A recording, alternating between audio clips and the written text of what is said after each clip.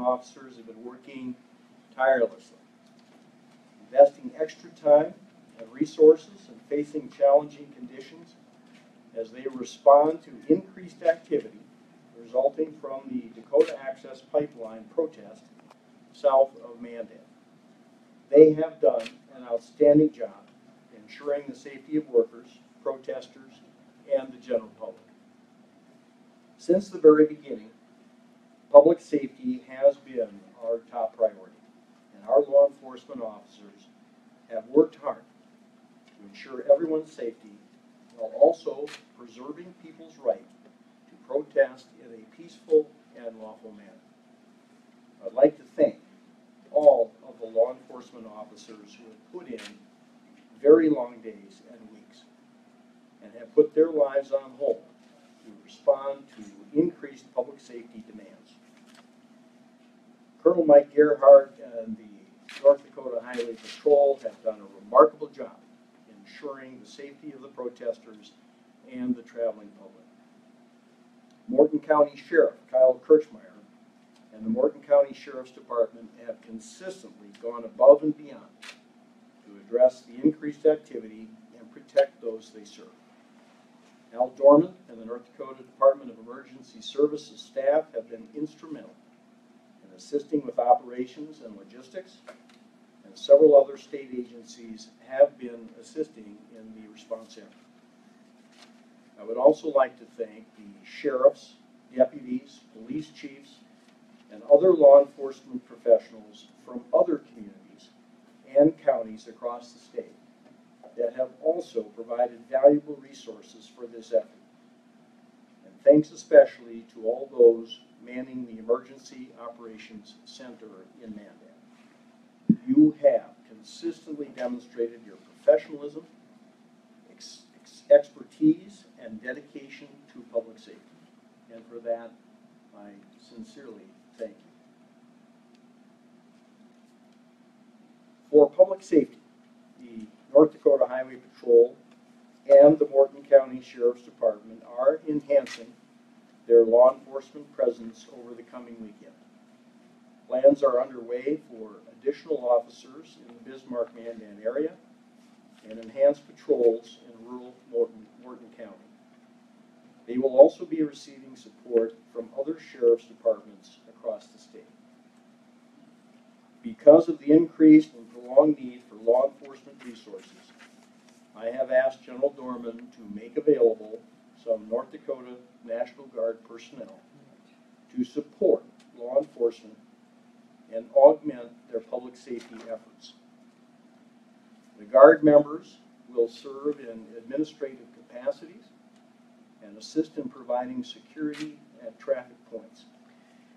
Beginning today, the traffic control point on eighteen oh six will be converted to a traffic information point, advising motorists of potential hazards, not requiring a detour. With the National Guard helping in their, in these support roles, we can free up more officers for enhanced patrols and calls for assistance. I have also placed additional guardsmen on standby alert in the event they are needed to assist with response efforts. The Guard members will provide valuable personnel, resources, and equipment necessary to support local, tribal, and state officials. Public safety has always been and continues to be paramount. We are also committed to protecting the constitutional rights of those who want to assemble peacefully and lawfully. At the same time, we must make sure that peace is maintained this weekend. The steps we are outlining for you today out of an abundance of caution. We simply want to make sure we are prepared. I encourage everyone who demonstrates against the Dakota Access Pipeline project to do so in a respectful and lawful way. Resist any pressure from others to violate the law and tarnish your message. I also encourage all North Dakotans to respect the rights of others we all have a right to have our voices heard. That's what makes this country as great as it is today. But in doing so, we must also ensure the safety of our citizens and uphold the rule of law. I'll now turn it over to Colonel Mike Gerhart to discuss in more detail the Highway Patrol's plans for enhanced enforcement. Thank you, Governor. Good morning, everyone. I'd like to start off by saying we are thankful of the actions of the Governor's office allowing for additional resources. for North Dakota, expect law enforcement services to be available on a moment's notice. Having additional resources available from the National Guard allows our officers to better serve the citizens and allows them to concentrate, and allows us to concentrate on public safety efforts.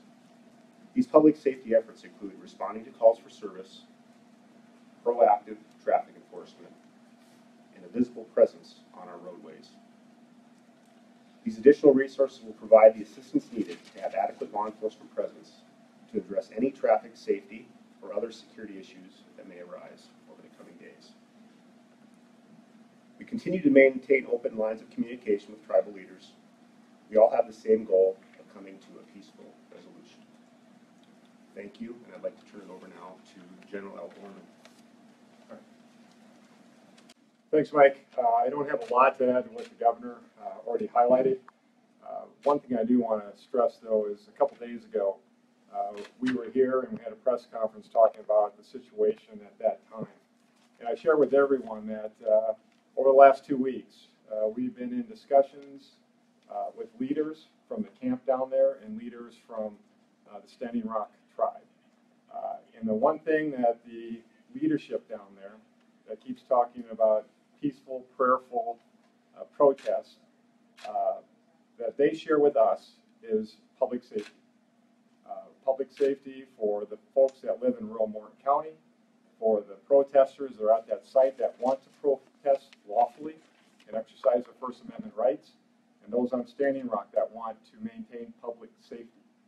That is our number one goal. And what we're doing here today uh, by bringing some guardsmen in to help out on the checkpoint so that law enforcement can do what they do best. And that's get out there on the roads to promote public safety and be there when needed, when citizens, whether you live in rural Morton County or whether you're passing through because you're at the camp down south, public safety is priority number one. The guards model is always ready, always there. And right now, if we can come in and help out in a non-law enforcement function to free up officers to promote public safety, we see that as a win. And this has been part of the discussions we've been having, as I said, with both uh, the leaders of the camp down there and the leaders from Standing Rock. Uh, the other thing, I've already received a couple of emails this morning um, saying, oh, we've heard the guard is heading south. The guard is not heading south. The guard's role here is to promote, like everyone else, public safety and to help out with law enforcement so we can free up officers with patrol cars to go down there and have a visible presence for the citizens of North Dakota and those that are visiting us and down in those camps today. Um, So with that, I'm going to turn it back over to the sheriff um, and then answer any questions you might have after that. Sheriff? Thank you. At, at this point, uh, I want to uh, assure the people of uh, Morton County that uh, law enforcement is present at all the, the protest sites. Uh, please be aware that I have requested and received law enforcement assistance from agencies from across the state. We are increasing our patrols as we speak. Uh, we will, and we'll make sure that we can do everything to make sure the people of uh, this county are protected. Uh, unlawful acts that are taking place during the protests, protests are being dealt with uh, through the court system, and we are investigating the illegal acts and formalizing criminal charges. Uh, law enforcement has done everything we can do not to escalate the situation uh, with the protests, but our hands are being forced at this point uh, by unlawful acts and aggression actions taken by uh, protesters uh, within the, the protest groups. Uh, we have respected the rights of the protest uh, to exercise their First this week, we've had numerous instances in Morton County where residents are being intimidated, harassed, and in in some cases outright threatened. At this point, at this point, this is unacceptable, and we want, this, we are gonna increase our patrols, uh, make sure we're visible in the area, and, and answer, uh, calls, uh, public safety calls as needed, so. Thank you. Uh, any questions we'll take at this point. General, how many uh, guardsmen are gonna be there and will they be armed? The, uh, at this point, uh, the guardsmen that are employed will be based on mission requirements. Uh, the only mission we've received at this point is to relieve some law enforcement at the checkpoint. Law enforcement will still be in the lead at the information point. I should use the right terms here. Um, so whatever that requirement is to help out there. And then, uh, there'll be approximately another hundred on standby. Um, and then as always, if needed, uh, we have guardsmen all around the state that we can call in if there is a requirement for them. Again, uh, about a hundred that will be on a, a shorter notice to come in and help support law enforcement if required. And what was the number in addition to that hundred? Well, our total strength in North Dakota National Guard is about forty-one hundred. But how many will actually be, At these how many will checkpoints actually and be at so the on? checkpoint and how Uh, we'll coordinate that with the Highway Patrol. They will remain in the lead on the information point. Um, but if we can free up a couple, uh, units. Are you maybe a talking officers- dozens or, Yes. okay, I Will they think be right armed? now it might be six to eight, uh, per shift. will they be armed? Uh, we'll go through that with the highway patrol, but, uh, right now they'll be, uh, probably display the same, uh, level of, uh, protection as the highway patrolmen they're working with. So that's a yes. Yes, I'm guessing the highway patrolmen right now are, are armed. Where, where are they coming from? What units? Uh, one nine one MPs, they're stationed in Bismarck, Mayville, and Fargo. And this is a highly trained unit, that has some law enforcement expertise, but they are not sworn peace officers in the state of North Dakota. And again, our role is to support law enforcement, not be in the lead. Sheriff, can you talk about the enhanced patrols and maybe the colonel can too? uh, What the complement's gonna be and, and how long all these folks are gonna be in place? Well, we just, uh, well, they plan on being in place as long as the protest is, is continuing and, uh, the precautions are necessary. Uh, we want to make sure that we have additional officers, uh, down on, on the county roads, uh, in, in southern Morton County, uh, to make sure we've had, several reports of individuals down there, like I mentioned before, of, of them, being, harassed and actually stopped, even trying to get them stopped in their tractors and that type of thing as they're trying to do uh, their daily uh, work, and and we just cannot have that uh, going on. Um, uh, we've had several reports of residents, you know, uh, driving in and, and to their homes, and people having them block the county roads and physically standing on the road and not let, not letting resident residents through.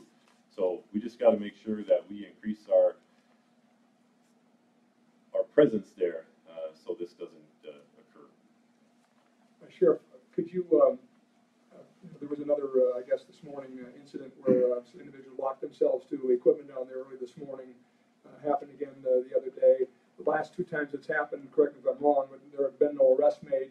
Um, just been the law enforcement monitoring the situation. Uh, is that a matter of resources? So in other words, this decision today free you up to be able to go in and, and, and arrest people in those cases? Or is that a, uh strategy to just not engage the, the protesters when they, when they engage in that activity? Well, correct, we want to make sure that we have more manpower available to, uh, to respond to these instances.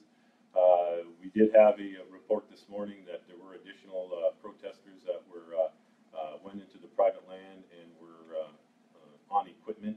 At this point, we had officers respond, uh, to that situation. Everything that we're doing right now is being investigated and arrests will be made, uh, when investigations are through or when it, it's feasible to do so. why at this point do you turn it from a, you know, a stoppage point to an information point?